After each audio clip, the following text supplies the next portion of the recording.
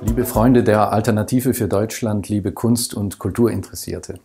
Eine Kampagne des Vereins Die Vielen e.V. hat bundesweit Kultureinrichtungen dazu gebracht, sogenannte Erklärungen der Vielen zu unterzeichnen, worin die Verteidigung der Demokratie und der Freiheit der Kunst gegen den rechten Populismus proklamiert wird. Rechtspopulistische Gruppierungen würden Veranstaltungen stören, an einer Renationalisierung der Kultur arbeiten und einen verächtlichen Umgang mit Menschen auf der Flucht pflegen.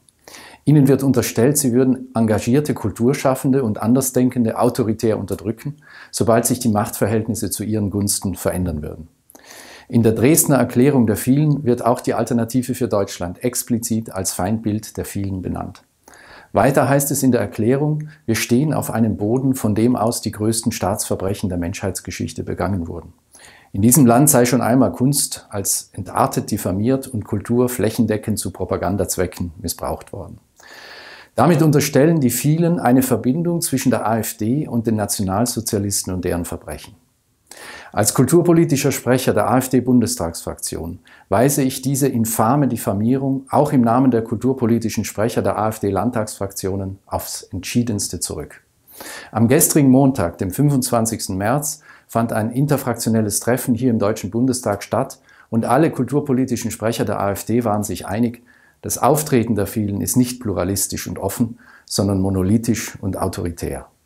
Wenn die Ausgrenzung einer Minderheit, der wenigen, durch die reklamierte Mehrheit, die vielen, betrieben wird, so manifestiert sich darin keine demokratische, sondern eine in Ansätzen bereits totalitäre Gesinnung.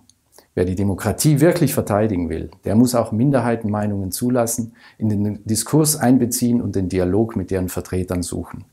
Die vielen wollen nach eigener Auskunft verhindern, dass die Rechtspopulisten kulturelle Veranstaltungen zu propagandistischen Zwecken missbrauchen, bleiben aber jeden Nachweis schuldig, wo dies jemals stattgefunden hätte. Umgekehrt wird ein Schuh daraus.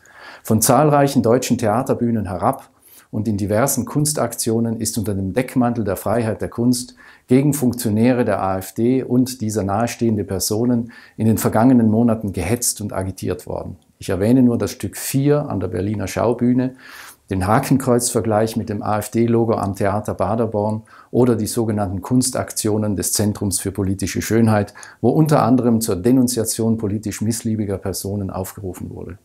Regelmäßig wurden zudem Diskussionsveranstaltungen, an denen als Rechtspopulisten diffamierte Personen teilnehmen sollten, von Aktivisten der Kunst- und Kulturszene gestört und verhindert.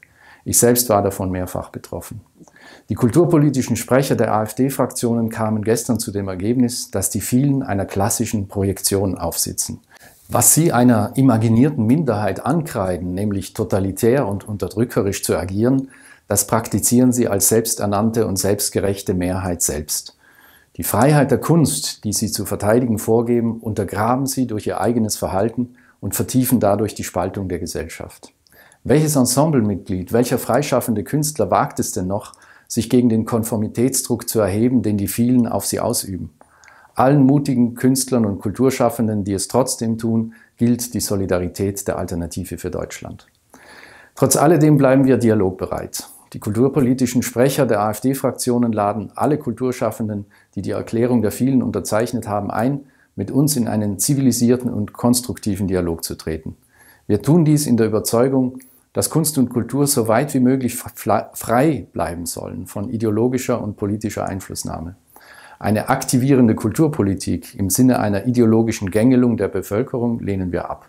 Gerade darum hat die Freiheit der Kunst für uns oberste Priorität. Wem die Freiheit der Kunst ein echtes Anliegen ist, kann den Dialog mit uns nicht verweigern. Und wenn Sie, liebe Zuseher, in einem Theater- oder Konzertprogramm die Erklärung der vielen vorfinden, lassen Sie sich den Abend trotzdem nicht verderben. Wir wissen aus zuverlässigen Quellen, dass nicht alle Musiker oder Theaterleute dies freiwillig mitmachen. Sie werden dazu gezwungen oder gar nicht erst gefragt, ob sie mit solcher politischen Agitation in den Programmheften einverstanden sind. Mehr denn je gilt es, wachsam zu sein und die Freiheit der Kunst gegen ihre falschen Freunde zu verteidigen. Ihr Marc Jongen. Jetzt Kanal abonnieren und nicht vergessen, Benachrichtigungen aktivieren.